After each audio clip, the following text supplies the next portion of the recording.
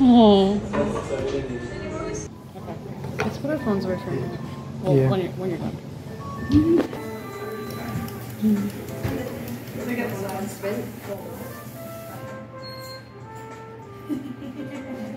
What are you thinking about? Do you like this? Is that yes? You spoke with the ears.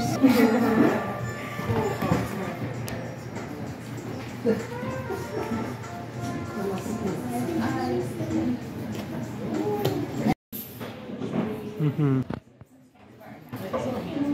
Yeah, hands are cute. Give me a head nod for Ryan Weaver. Hell yeah.